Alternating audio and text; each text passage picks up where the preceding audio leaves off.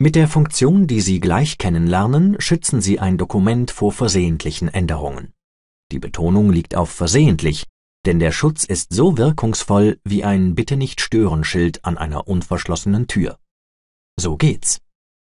Wechseln Sie zum Register Datei und wählen Sie Informationen. Klicken Sie auf Dokument schützen. In Excel bzw. PowerPoint heißt dieses Symbol folgerichtig Arbeitsmappe schützen bzw. Präsentation schützen. Wählen Sie die Variante als abgeschlossen kennzeichnen. Die beiden folgenden Hinweise bestätigen Sie jeweils mit OK. So, neben dem Symbol erscheint nun dieser Hinweis samt einem Stempelsymbol. Ein erster, aber noch relativ dezenter Hinweis auf das Bitte nicht stören Schild.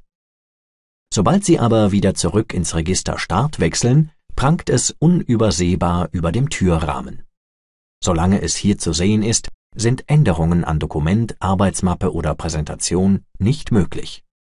Aber ein einziger Klick auf Trotzdem bearbeiten entfernt das Schild und mit ihm den Schutz.